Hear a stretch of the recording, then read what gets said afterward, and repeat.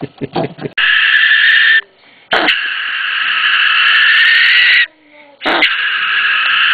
will get real loud at times. See those teeth?